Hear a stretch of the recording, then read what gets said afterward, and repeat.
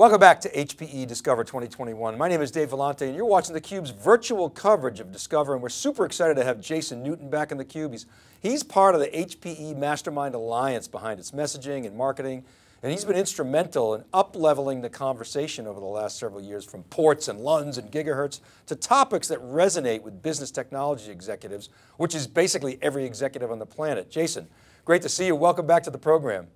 Hey, I'm thrilled to be here.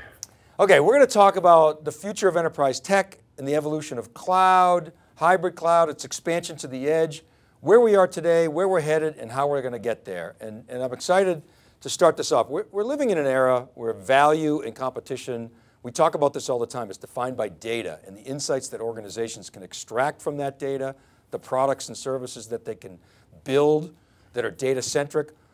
What do you think this means to HPE and what does it mean for your customers?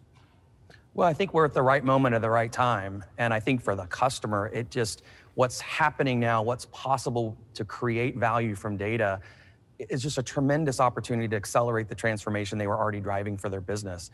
Um, we're seeing our customers do amazing things with data, not just monetizing data, but like world-changing types of things um, around uh, in healthcare, in finance, transforming experiences for their customers. And all of this is being driven by data. Well, I'm, ex I'm, excited to see how you guys approach that. I mean, you, are talking about this, you know, the cloud to edge strategy. And, and, and I've been having discussions with various execs uh, at Discover, obviously, you know, remotely, about how far HPE goes. And certainly you're going to have compute everywhere. And Aruba seems to me to be a really interesting part of that platform. You're going to go to the deep edge. So you got a lot of assets in the arsenal. How are you thinking about that? Well, it really all needs to come together into one experience. And you mentioned Aruba. I mean, that's where it all starts with secure connectivity. The more that we connect things up in a secure way, the more data that we're going to be able to, to create, analyze, and act upon. So it really plays a, a critical role. But if you look at HPE, we really have an embarrassment of riches of assets and expertise and partnerships at global scale. And there's not a part of our business that isn't focused on some part of the uh, data challenges that, that customers have from edge computing to supercomputing uh, to storage, uh, what we're doing with the Ezmeral software. Uh, it's all focused on helping customers take in that data and then create insights from it, create new innovations from it. Talk a little bit more about the customer challenges that you're specifically solving at, at HPE. What, what, do you see there? How are you thinking about that? And I think one of the biggest ones where it, the, the conversation always starts with is, you know, I have a lot of data, but it's all in silos, um, even within my organization. Or in some cases, I know there's data out there, but it's in another silo. How do I get access to it? How do I, I hear that word a lot when we talk to customers. You know, I, I need to get access for my teams to that data. So first step is just how do I bring it all together? How do I federate all of that data in one place? That's one area that we're helping customers solve. Um, the second is in order to bring those, those pieces together, the different data owners have to have uh, a trust, right, to share the data, because often there's not an incentive for them to do that. Like, I own the data, I don't want to share it. So we have to establish different parameters or uh, capabilities in order to enable that type of, of trust and sharing. And there has to be some mutual you know, benefit, right, as part of that. And we see that with inside of companies and we, we see it with you know, multiple different organizations. Once you can overcome those, those are really hard challenges. Once you overcome those things, everything becomes astronomically more easy to, to deal with and everything starts to go faster. And that's kind of where we're, we're trying to get people on that modern data maturity curve up to that point where they do have federation, they do have curation, um, they are able to share, they know, you know what they're going to benefit from it, um, and then we can get onto the task of enabling the teams to do analytics at, at, at speed and scale. Yeah, you talk, you talk about federation. So there's an interesting challenge that you're describing, and you and I have had some good conversations about this because you want to kind of you know, tame that data, if you will, and put it in a place right. that you can actually get to it, share it, make it discoverable. And of course, at the same time, it's all over the place. So you've kind of got these, these pods that, are, that, that can talk to each other uh, and facilitate that, that kind of data sharing and then what I call you know, building data products, building data services. And technology is at the point now, it's evolving to enable us to do that. It's, look back at the last 10 years, it's just far too complex. Yeah, we heard Antonio earlier today talk about you know building not private clouds but private data spaces, and it's really that idea of how do I how do I bring an experience to the data, right? That is agile and fast and cloud-like or cloud, in, in, in, the case of what we're actually doing now, building a cloud platform. Um, if that's exactly where uh, customers are trying to get to, um, and you know, we look at these data spaces as uh, the advantage by going, bringing that to the data. Obviously, there's the you know the physics of it, the performance, and that kind of thing. But you know, we can pay more attention to like data sovereignty laws. Um, you know, we can address things like data ownership um, within these spaces, so that teams can come together and freely collaborate and, and act on that data together. You know, I've been watching you guys for now several years, and, and you've, you've taken this messaging and, and marketing thing pretty seriously. I mean, a lot of times, you know, we see it all. A lot of times there's, there's gimmicks, and I don't mean that necessarily in a bad way. There are actually some really good gimmicky marketing that gets a lot of attention, but your approach is, is different. Um, it's, it's very thoughtful. Uh, it's cultural, I'll say. You're trying to enculturate sort of what you say with what you do. And so I want to ask you, how are you going about you know, changing the way in which you provide solutions. I sort of alluded that, uh, to that at the top versus how you've done it in the past and, and how you're helping customers redefine their business for success. Well, yeah, the way that we're thinking about that is, um, and I think you heard it very clearly and, and succinctly from Antonio earlier today, we're transforming into an edge to cloud company, okay? Um, we are building an edge to cloud platform that is GreenLake. That platform is the way that we'll deliver cloud services to our customers for their workloads, to their data sets, wherever that needs to be. We're committed to a truly hybrid model, right? Edge, on-prem, cloud together. And so those elements, it starts to crystallize, I think, a lot more about who this company is and the type of challenges that we need to solve. Talking about the things is not important, is not interesting to customers. They want to know what problems can you help me solve? How fast can you do it? Right? What outcome can you help me achieve? And that's the way that, you know, we, have we've talked about this a lot, Dave, that, you know, we continue to transform and have those, those more meaningful conversations. And like I said, every time we get to the data challenges, they know the opportunities there. They, they have a, a dream and a vision of what they want to go do. They just need a partner like HPE to help them get there. So we talk a lot about GreenLake and as a service. You guys were, were threw the gauntlet down first. I got to give you props because you're kind of all in on it. You're not a halfway house. I'll give you that much. But but now we've seen at least, I could count, at least four other large competitors follow suit. Um, how should we think about your strategy and specifically your advantage relative to the competitors? Let's, let's talk first uh, in terms of as a service in GreenLake and then maybe overall. Yeah, I mean, I think um, you know you see a lot of people following GreenLake's lead. I mean, we've been out in front for a while. We were the first to say the world will be hybrid, and it is. We were the first to make the big bet at the edge. Uh, we were the first to see that not all the data is going to go into one you know unified location. It's going to continue to be distributed, and therefore, a cloud experience has to travel to that data. We created the GreenLake brand years before anybody else did, and now while they're just now trying to figure out, well, how do I do hardware as a service or you know a better way to sell my products we're moving on. We're focused on the workloads and the workflows and the data sets. Um, greenlake is much much more mature and now that you know we have everybody on board across the company we're moving much faster as well right? And and that's more of a statement for the traditional competitors right? The traditional space is you know they're they're still just stuck on like hardware as a service infrastructure as a service. We're at the workload level and, and much higher. And i think what you're seeing from the public cloud players is wow data center and on-prem and edge is hard, um, a lot harder than, than I think they really anticipated. And uh, you know, they're, they're reassessing. So I feel like we're in the place where the world is moving to, right? And we're really writing, you know, the first chapter of the new HPE, um, not the last. Has it, has it changed the way this as a service mentality, has it changed the way, or how has it changed the way in which your product groups are behaving? Um, quite a bit. Um, you know, it is a mindset shift, and and you know, it's and uh, I think we have the culture that will um, successfully enable that because we've always been so customer centric. I think as you move to an as a service, it becomes much more about how do I ensure customer success, right?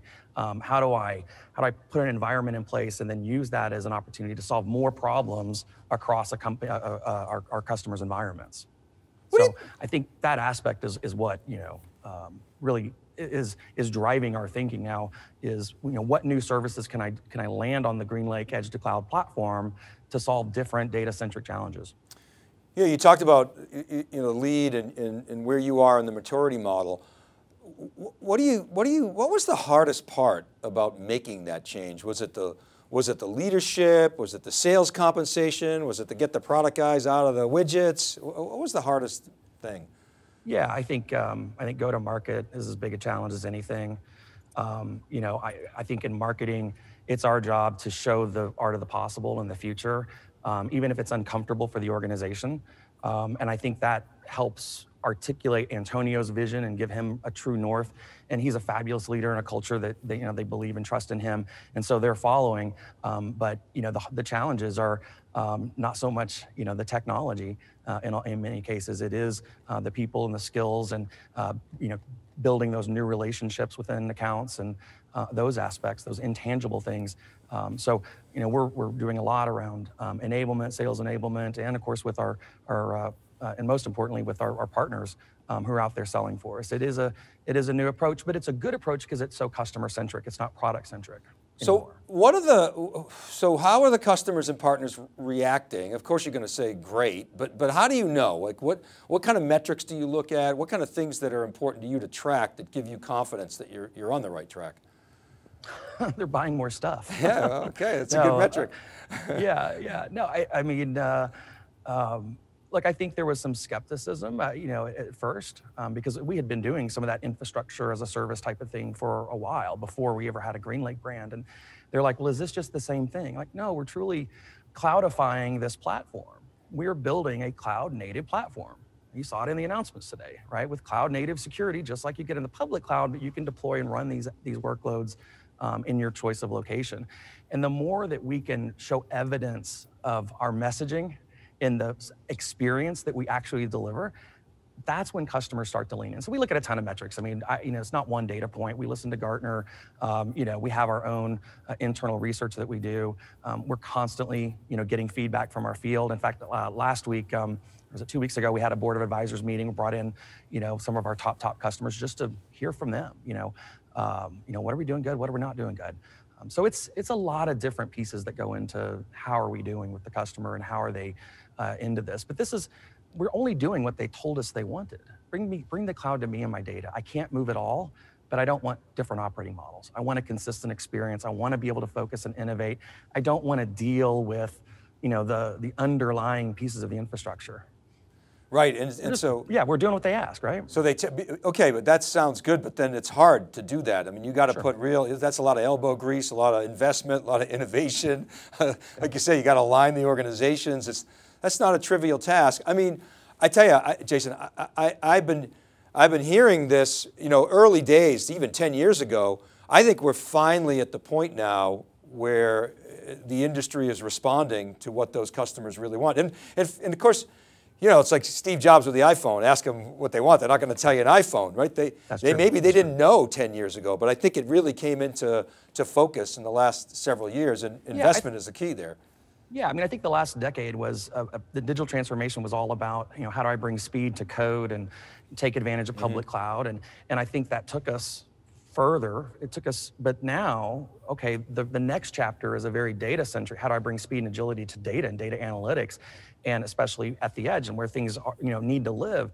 How do I make a consistent experience? That's going to be our focus for the next 10 years. And like I said, I feel like we're at the right moment in history as a company with the, the right assets, expertise, partnerships to go and, and, and, help customers take advantage of that. Well, it's interesting. The last decade, we all talk, talked about big data. We don't use that term much anymore. Uh, but like many things, like you know, the internet, for example, it's over, of, or maybe it's overhyped at the beginning, but it's always underhyped when you actually see the force it can be. I, I feel like we actually are now entering the true data era. So, so you're excited about a lot of things, obviously as a service, but I, I got a, I got a sense there's more that you're not sharing with us. So what are you most excited about for HPE in the future? Well, like I said, uh, be, you know, uh, becoming that edge to cloud company, um, watching GreenLake blossom as it is. I mean, tremendous innovations that we announced today. And yes, there's things I can't share that I know are coming later this year. I, you know, seen the roadmaps. It's it's it's really compelling, very compelling and impressive. Um, the things that we're doing with Ezmeral, combine that together with, with GreenLake and that experience, the types of data and analytic platform environments that we can build to unify those data silos, to accelerate the, the machine learning and analytics teams. Um, it's really all coming together. And, and those are the things that I'm excited about. Um, you know, changing that perception of HPE as, you know, infrastructure as a service and hardware as a service and that kind of thing. It's not about, it's, it's, as a service is the experience, right? The, the, the value is in the data. And watching us be able to help customers solve those data challenges and seize those, those data opportunities is what I'm most excited about. Well, the other thing too is the world has some big challenges, you know, population, energy, you know, we could just make the huge list. And, and I feel like tech companies not only are in a position to, to, to help, but I think they have, a, they, they have a responsibility. And I got to say, I think most tech companies, big, large tech companies are stepping up and have great leadership around that. And, and I, what are your thoughts on that? Well, yeah, we talked about you know value from data. It's all about the insights is where the value comes from. Um, but value is not always about profit and monetization. I mean, data truly does have the opportunity to solve some of the world's biggest challenges. Um, I was just reading this morning um, about um, was it CGIAR and the things that they're doing in agriculture with these. They've got a big data set platform that um, I think could be literally the thing that ends up helping solve world hunger, the thing that everyone sort of jokes about. I'm like, no, seriously, now with the data, that could be possible. Yeah, I, I, think you're right. I think we are going to solve world hunger. World nutrition may be a different story, but we'll tackle that next. Um, last question, you know, what else should we be focused on at, at, at Discover? How can folks learn more? Well, you know, this is a three-day event, so today was really about the news and the excitement and clarifying our position as an edge to cloud company and that GreenLake is our edge to cloud platform, the way that we deliver the cloud to you. Um, tomorrow uh, is really about how all of that vision strategy manifests itself into the experience and the products and the solutions that you can consume.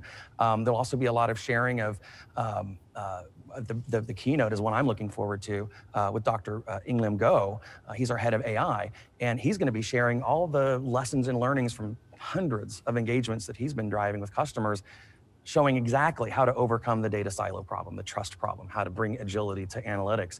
And then, you know, Thursday is kind of the geek out day, right? We get to talk to Hewlett Packard Labs. We get to go and touch the technology, meet the technologists, interact with them, um, and, and understand what are those technologies that are going to be crucial, you know, for the next 10 years of data-driven transformation. Some really exciting stuff there, uh, Jason. Thank you so much for spending some time on theCUBE yeah. again. Really great to see you. I appreciate the invite every time is uh, a pleasure. Thank you. All right, and thanks for being with us for our ongoing coverage of HPE Discover 21. This is Dave Vellante. You're watching theCUBE, the leader in digital tech coverage. We'll be right back.